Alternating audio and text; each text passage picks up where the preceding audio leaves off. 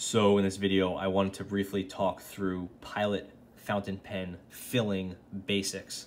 We have some entry-level Pilot fountain pens and some filling options here. So I kind of want to just run through them. So I know this is something a lot of people have questions about. We'll be going through the Pilot Metropolitan. This is about a $15 all metal fountain pen. The Pilot Explorer. This is about a 20 or $22 fountain pen, uh, all plastic, but it's a little bit newer than the Explorer. This is a Pilot Kakuno. This is kind of the student pen. Costs about maybe $12. And then lastly, we have the Pilot. This is about a $30 pen, kind of getting away from like entry level. Uh, and it's not too different than the other ones, but I wanted to throw it in here because it reveals some of the things that we'll be talking about later. I think it's an interesting pen to compare to the rest. Then for filling them, we have kind of Pilot's standard cartridges. We have the big converter, the Con 70. We have the most popular converter, the Con 40. And then we have this guy. This is the Con B. Looks a little bit like the Con 20, but they're actually different things. And this is just one of those converters. Four pens, four converters. So we'll go through the whole system over the next few minutes. Uh, but I did want to talk about the first thing, which is size is sometimes an issue. You would think that all pilot parts fit, fit with all pilot pens. That's not the case. This Con 70 will only fit in the pens with the larger barrels. So for example, the Con 70 will not fit in the most expensive pen here, the Prera. This back end, the barrel, is just too short to accommodate the Prera. The Con 70 will fit in with the Explorer, and it will fit in ironically, with the cheapest pen here, the Kakuno, but it won't fit with the Metropolitan.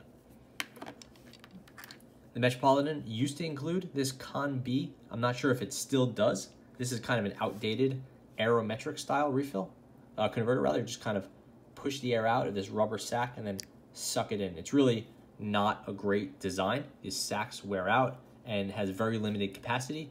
Plus you obviously can't see how much ink is in there, so it's a little bit annoying from that perspective. But we'll just kind of use it anyway. So as far as the pairing goes, usually you'd want to pair the most expensive converter with the most expensive pen. After all, a Con 70 might cost about seven or eight dollars, so putting it into a $12 Kakuno sounds a little bit ridiculous, but it's definitely something you could do. And if you like writing with this fountain pen, then there's no reason not to go with the uh, converter that you like. This is obviously transferable from pen to pen, plus it lasts basically forever. But with the uh, Kakuno, we'll pair something else. And I wanted to put the Con 70 in the Explorer just because this is kind of my favorite of these pens right now. So the process for that is very simple. Take the cap off. All these pens are recently cleaned, so they're all dry and clean and all that. So take the barrel off, set those aside, and you don't fill the converter first. You can, but you generally don't. And this you just would press in here and it's a nice press fit. That's it. Give it a good push. That's all there is to it. The way this one works is you push down and you're looking at this little plunger here. You push that down. It creates a seal right now. Now it's pushing air out, pushing air out, pushing air out. Now it's created a negative pressure vacuum in here right now because this is pushing air out like a valve. And when you let go, you let go hard and it sucks air in. You don't let it up slowly, you let it up with a pop. And you can see the plunger pops up. That's the kind of that reverse, that like pulling action, that sucking action. So it's pretty simple process, but it takes some getting used to. So that is the Explorer with a Con 70. I have some very simple ink here. This is just Waterman. Uh, this is just like good utilitarian ink. It's not like I chose this strategically, but uh, it'll get the job done. And again, not very expensive. So we'll give this a good dip in here. Try to show it to the camera, push it down,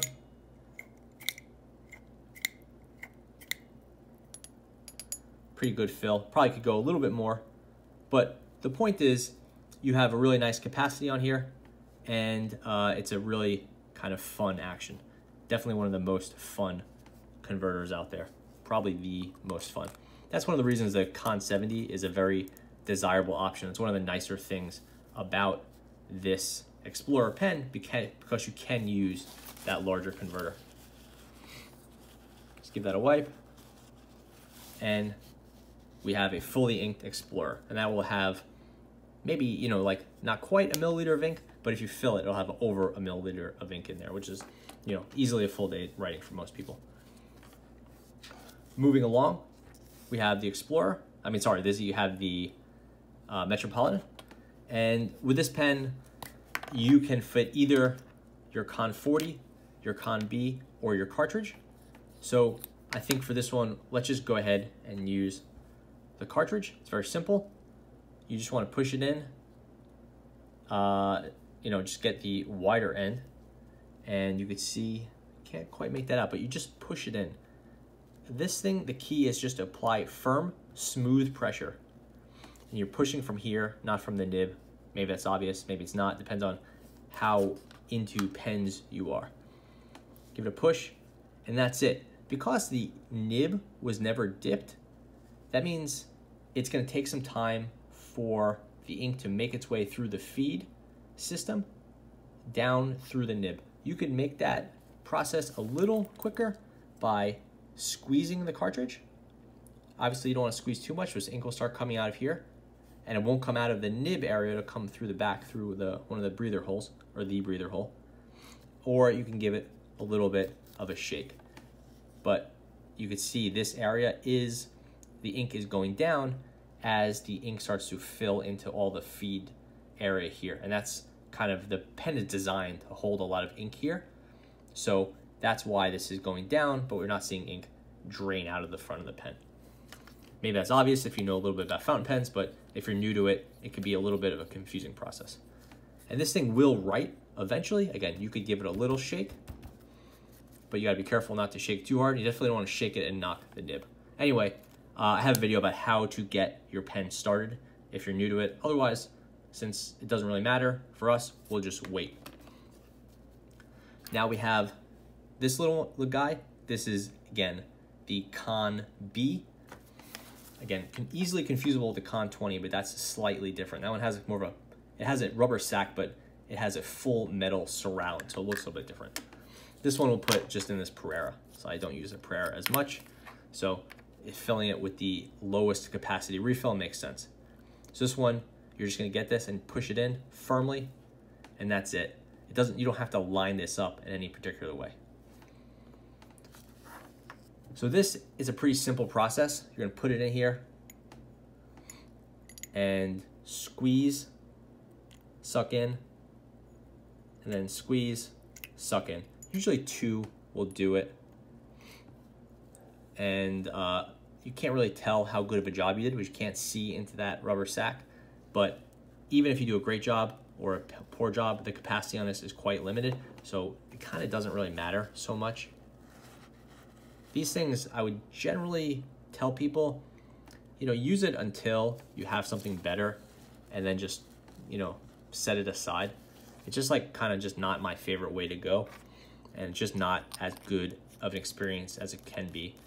It seems wasteful just to throw it out, but really the, the Con 40 is, uh, you know, these things sell for about four bucks each and they last forever. And they're a lot easier to clean and then you could see in them, which to me is a big advantage. And then there you have your fully inked Prera.